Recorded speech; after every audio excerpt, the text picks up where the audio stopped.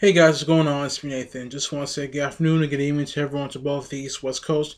Hope you guys are enjoying your day today here on Thursday. You guys are also uh, looking forward to the weekend coming up, starting tomorrow on Friday. And uh, for this video today, we'll talk about the campaign to save Dallas ends. So let's get right into it. The link will be in the description down below. Some Soap Opera Digest uh, in the website for the 19th of November 2014. And it says.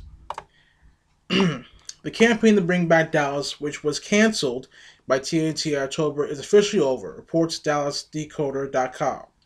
We have come to an end, said executive producer Cynthia Cidre and Michael Robin in a joint statement released today. After a six week attempt to try and, and land our beloved Dallas at our, at network, we have to inform you that we have not succeeded. Warner Horizon has attempted in a Herculean way to try and find us a new home, but at the, but at the end of the day, it did not work out.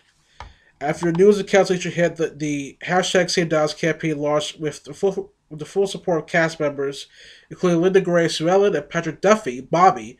DallasDecoder.com also reports that fans sent approximately 1 million hashtag Save tweets and added more than 84,000 signatures to an online petition calling for another network to pick up the, sh- the show. Cidre and Robin thanked the fans for their efforts, stating, we so appreciate the outpouring support by all of you, and the hashtag Save campaign was a truly remarkable undertaking. We cannot fully express how much we loved making this show for you and with you. We had three wonderful years together, and we had the times of our lives bringing the, this iconic show back to television. Thank you for your support, thank you for your loyalty to our wonderful characters, and thank you for watching our show. And uh, pretty much that was that, you know, Dallas will not be coming back to the small screen anytime soon. Uh, to me, this news is very disappointing to hear, but you know, I mean, everyone tried their hardest. Uh, you know, the actors, Linda Gray, Patrick Duffy, uh, Cynthia Cidre, Michael Robin, they all tried their best, and you know, it just didn't, it just didn't work. But I mean, maybe we'll see, you know, Cynthia Cidre and Michael Robin uh, headline another TV show, wherever it is. But you know, thank you to them and to the actors of Dallas for, to the fans for helping to try to bring back Dallas.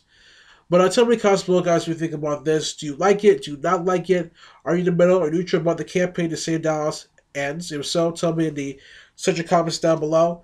Uh, don't forget to like this video. Don't forget always, guys, to subscribe to my channel. And until next time, this is Nathan saying peace. Take care. I will see you guys later. Next video coming up later on tonight or tomorrow. But until next time, take care, guys. And I'll see you guys later. Have a good Thursday, and uh, take care. Bye.